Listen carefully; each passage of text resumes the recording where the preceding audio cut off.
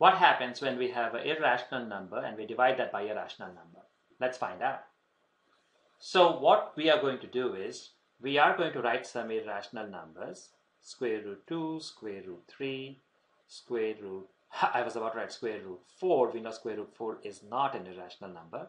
So let's make it square root 5, square root 7, so on and so forth.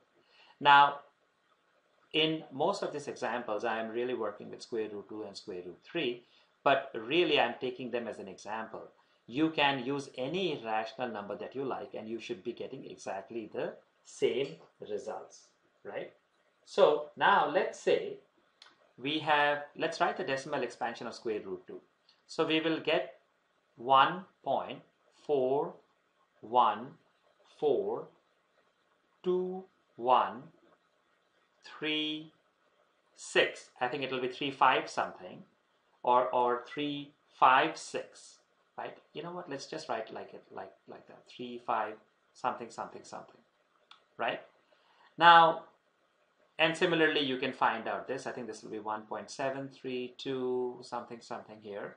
So let's do one thing. Let's look at square root 2 so irrational number divided by rational number. So irrational number divided by rational number, right? one is a one is a rational number. Now we know that anything divided by one is that number. So clearly this is an irrational number, right?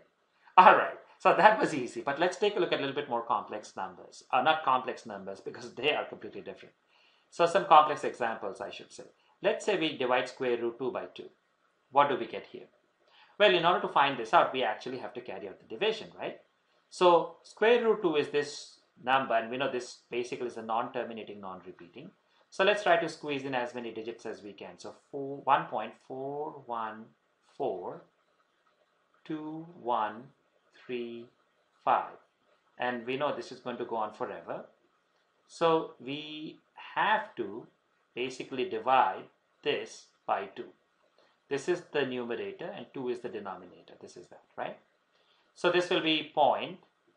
So we have 0.7, that will be 14. And then this will be 0, so the 1 comes down here. And this is less, so we put a 0 here. So the 4 comes down, and now we have 7, so this will be 14, right? So this will be 0, now we have 2 over here. So this will be 1, then this will be 2, 0, then we have the number 1 over here and then we put a 0 here then we get 3 6 12 1 the 5 comes down. 7 14 1 so this is going to go on and on and on because the decimal part does not end. So our quotient will not end. So in other words when we actually do the division we will get 0 0.7 0 7 1 0 6 7 so on and so forth so this will be non-terminating non-repeating. So when we divide square root 2 by 2 we are going to get an irrational number. So similarly uh, you can actually try to divide square root 3 you can actually try square root 3 by maybe 5 and what you will see is you are going to again get an irrational number here. You will get something which will be a non-terminating and non-repeating just the way we have this. So we are taking an irrational number and we are dividing that by a rational number and we are seeing that we are getting always irrational numbers. Let's take a look at some more examples maybe with some different kinds of numbers. What do I mean by that? So let's say we want to divide square root 2 divided by maybe 2 over 5 why don't we try this? Now recall that if you have a by b and you divide this by c by d, we can write this as a by b multiply by, we change the division to multiplication and we switch this. So denominator becomes numerator, numerator becomes denominator or d over c. So we can write this as, we can imagine there is a 1 here. So we can write this as, over here, square root 2 by 1 multiply by 5 over 2. Or in other words, what we actually have is we have square root 2 times 5 divided by 2.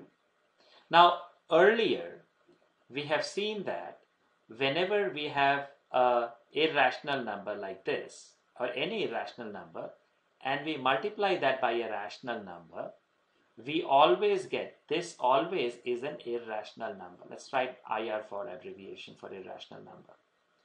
So the numerator square root 2 times 5 will be an irrational number that we are going to divide by 2. So we will basically have an irrational number and we are going to divide by 2. Now we can actually do this. What we are going to see is when we have an irrational number divided by 2, this will again be an irrational number right now I wanted to clarify one thing because we are taking a look at numbers which are all positive it doesn't mean this applies only to positive numbers remember irrational numbers and rational numbers can be negative because we can simply have minus square root 2 uh, while we are doing division so let's say we have minus square root 2 divided by say 2 over 5 right? In that case, it will be exact same thing.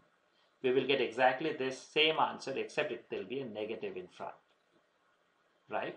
Or let's say we have minus square root 2 divided by minus 2 over 5. So in that case, what will this look like? Well, this will be simply minus square root 2 over 1 multiplied by minus 5 over 2 or in other words minus, minus 1 a minus 2 and minus minus will cancel will become plus right and we will be left with 5 times square root 2 divided by 2 and again this will be exactly the same as this which will be again an irrational so this will be also an irrational number so what we are noticing is that whenever we have an irrational number and we divide that by a rational number we always get an irrational number.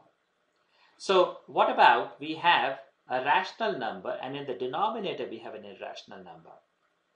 We will see those examples when we do solve, when we take a look at how do we solve, simplify rational numbers, irrational numbers. But just wanted to quickly highlight that if we have a rational number and we divide that by irrational number, we will again get an irrational number.